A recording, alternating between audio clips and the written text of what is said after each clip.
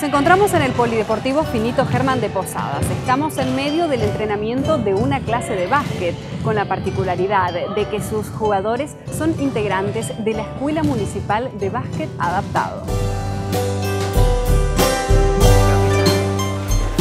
Vine acá y me, el primer día no, no, entendían nada y ahora ya entiendo un poquito más y ya no quiero entregarle la silla.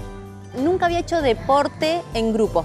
Siempre había hecho o natación, eh, teniendo ya la discapacidad, o natación, que era individual, porque era más que nada un tema de rehabilitación, y si no, hacer ejercicio yo sola, rehabilitándome, pero nunca en equipo con tantos chicos en silla de rueda o en la misma situación, y es grandioso, no solo porque uno comparte situaciones parecidas o problemas parecidos, sino porque la gente que tiene algún tipo de problema tiene mucho empuje.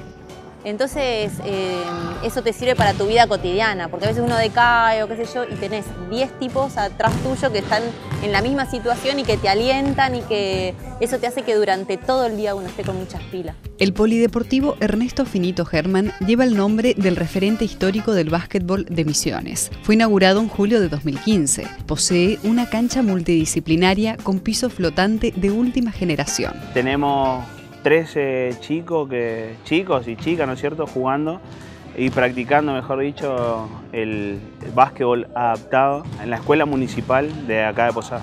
Generalmente lo único que modifica es que están en silla de ruedas, eso, el, después tienen las mismas reglamentaciones y cambian en dos, tres cositas, pero generalmente las reglas son todas las mismas. Sobre todo mantener la silla cuando uno va en velocidad y va picando donde uno más le tiene que agarrar la mano a la silla y sobre todo a la pelota, porque a veces que la pelota pica, se va para cualquier lado y terminas en el piso, de ñata. Si bien algunos realizaron otros deportes, todos destacan las virtudes de que el básquet les permite vivir la experiencia como equipo. Me vine a probar y me copé, me copé porque yo eh, hice rehabilitación en Buenos Aires y allá hacíamos deporte, hacíamos y hacíamos básquet, pero después vine acá y no hacíamos nada porque no había, ¿viste? No hay deporte adaptado. Entonces dije, bueno, yo me sumo, pruebo. No, te juro que me enamoré. Acá eh, somos un grupo de chicos en, en silla de ruedas. En cambio, en, en, los otros deportes que hice, yo era el, era el único, siempre no hay tantas actividades para personas con discapacidad. Entonces, que aparezcan estas oportunidades hay que aprovecharlas, hay que venir, porque a partir de eso vamos pidiendo, por ejemplo, en este caso, más sillas de rueda o más pelotas o más espacios, que se armen más equipos. Es genial para, hasta para poder competir, porque no podemos competir si somos un solo equipo.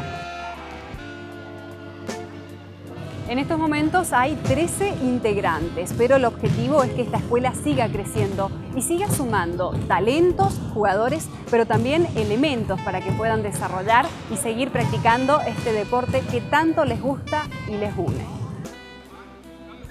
La idea es competir, eh, empezar a, a, mostrarnos, a hacernos conocer y empezar a competir con gente de otros lugares, no sé si nacionales, pero al menos provinciales, de Corrientes, Chaco. Un poquito más adelante sí, ir y jugar un, un campeonato, ganarlo y dar una vuelta olímpica. Está bueno porque es una palabra que no le gusta a mi amiga Noelia, es un deporte inclusivo, eh, que también por ahí a gente que está del otro lado, postrado, postrada en una cama, dice, no me queda salida y esto es, es bueno y además es un deporte, está bueno.